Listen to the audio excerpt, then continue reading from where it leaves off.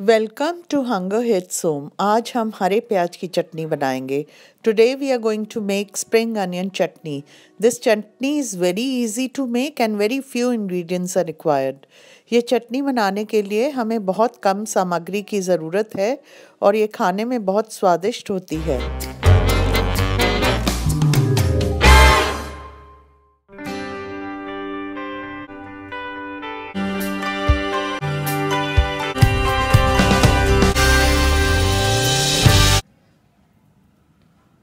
हरे प्याज की चटनी बनाने के लिए मैंने यहाँ पाँच प्याज ले लिए हैं।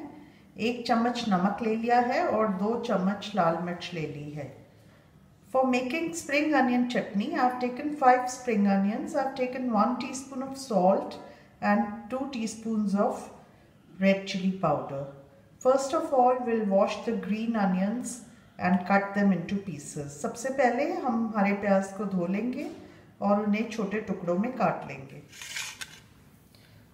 We have washed the spring onions properly and removed the extra leaves from this.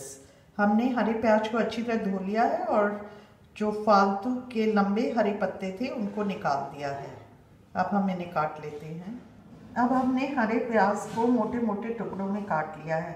I have cut the spring onions into pieces हमने कूडे घोटे को अच्छी तरह धो लिया है। अब हम चटनी को इस मिट्टी वाले कुंडे में बनाएँगे। Added the spring onions and now will add salt and red chilli powder हमने हरे प्याज डाल दिए। अब हम इसमें लाल मिर्ची पाउडर और नमक डालेंगे और इन्हें कूट के चटनी बनाएँगे।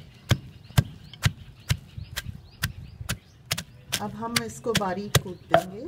जिससे सारा नमक मिर्च इसमें मिक्स हो जाएगा और ये बारीक हो जाएगी। Now this chutney is getting ready आप चाहें तो आप इसे मिक्सर ग्राइंडर में भी बना सकते हैं। You can make this chutney in mixer grinder also but it taste good when it is made in this कुंडी गुड्डा इस चटनी को हमने थोड़ा मोटा ही रखना है और ये अब बनकर तैयार हो गई है। हम अब इसे एक बर्तन में निकाल लेंगे। We have to make this chutney coarse and now will take it out हमारी चटनी बनकर तैयार हो गई है। अब हम इसे एक कटोरी में निकाल लेंगे। Our chutney is ready and now will transfer it into a bowl you have to make this chutney a little coarse and it taste really good in mortar and pestle ये चटनी बहुत ही सेहत के लिए बहुत ही अच्छी है क्योंकि इसमें कोई तेल नहीं डलता और ये झटपट बन जाती है। अगर आपको मेरी रेसिपी अच्छी लगी तो मेरे चैनल हंगर हिट सोम को लाइक सब्सक्राइब और शेयर कीजिएगा। Thank you for watching this video